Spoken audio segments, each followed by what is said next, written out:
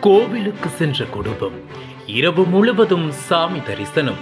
அடுத்த நாள் சடலமாக கிடந்த ஏழு நபர்கள் கதறி துடித்த உறவினர்கள்.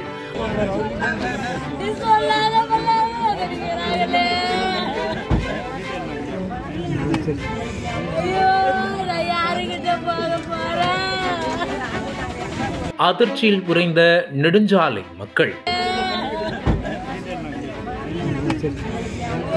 கிருஷ்ணகிரி மாவட்டம் மகாராஜா கடைப்பகுதியைச் சேர்ந்தவர் சதீஷ்குமார். முப்பத்து ஐந்து வயது மதிக்கத்தக்க இவர் பெங்களூருவில் உள்ள பிரபல ஐடி நிறுவனத்தில் பணியாற்றி வருகிறார். இவரது மனைவி காவியா.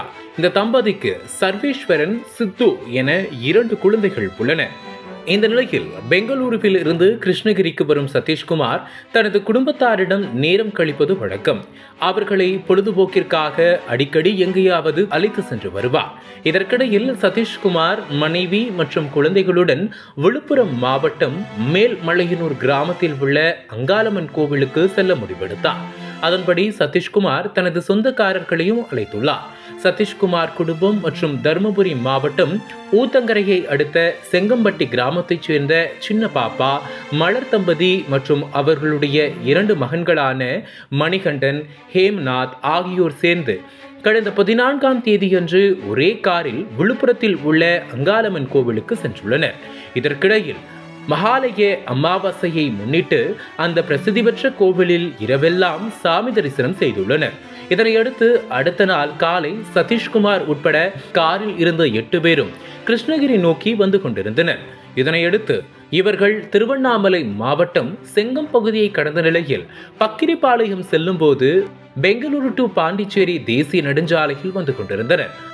அப்போது சதீஷ்குமாரின் கார் வேகமாக வந்து கொண்டிருந்த நேரத்தில் இவர்களுக்கு எதிராக கனரக லாரி ஒன்று வந்துள்ளது. அந்த சமயம் திடீரென யாரும் எதிர்பார்க்காத சமயத்தில் வேகமாக வந்து கொண்டிருந்த லாரி எதிரே வந்த காரில் நேருக்கு நேர் மோதி கொடூர விபத்தை ஏற்படுத்தியது. ஒரு கணம் இந்த பயங்கர சத்தத்தை கேட்டு அதிர்ச்சியடைந்த அக்கம் பக்கத்தினர் உடனடியாக சம்பவ இடத்திற்கு ஓடி வந்தனர் அப்போது அந்த காரில் இருந்த அனைவரும் குத்துயிரும் கொலையுருமாக இருந்தனர். அதன் பிறகு இச்சம்பவம் குறித்து போலீசாருக்கு தகவல் தெரிவிக்கப்பட்டது.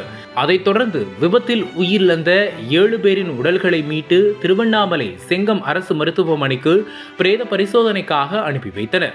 இந்த நிலையில் தகவல் அறிந்த திருவண்ணாமலை மாவட்ட ஆட்சியர் பா.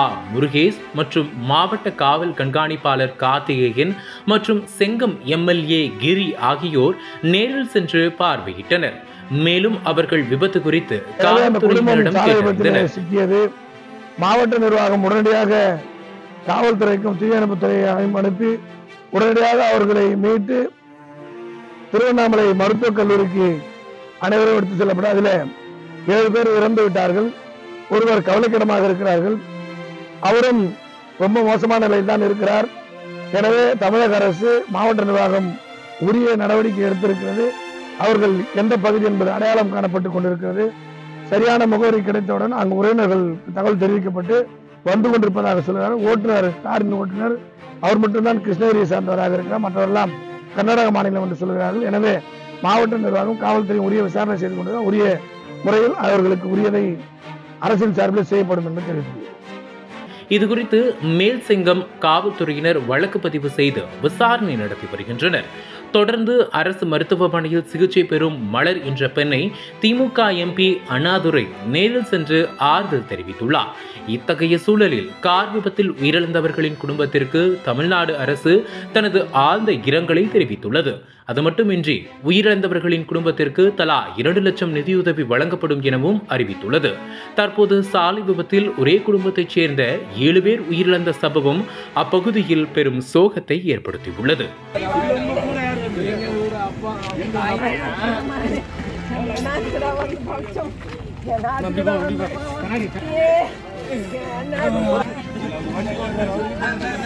சொல்லாத